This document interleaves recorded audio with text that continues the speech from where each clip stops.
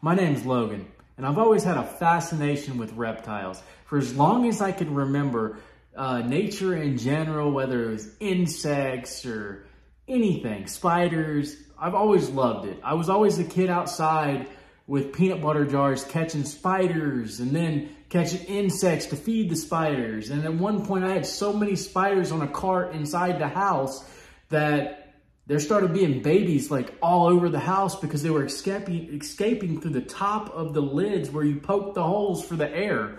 Uh, and that went on for a couple years, and that's not good when you got black widows and brown recluses all over the house. This is Juno, and he is a green iguana. He's actually a rescue. I got him about a week and a half ago from some people.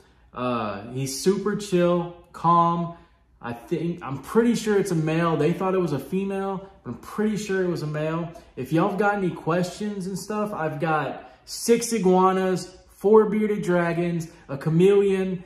Uh, I'm going to be posting a lot of videos of enclosures and I'm going to slowly be upgrading and advancing as I go. So if y'all have any questions, please reach out.